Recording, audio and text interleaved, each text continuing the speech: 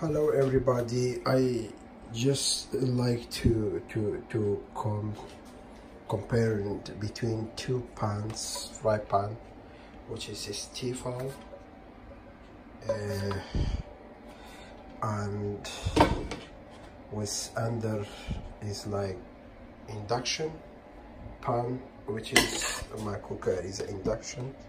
So without this this pan doesn't work so I would like to compare which one is better Tefal or this uh, kind of induction fry pan which is taken ProCook name is it calling Chible Play? Is it here? I would like to try with two eggs. One here one here. Which one?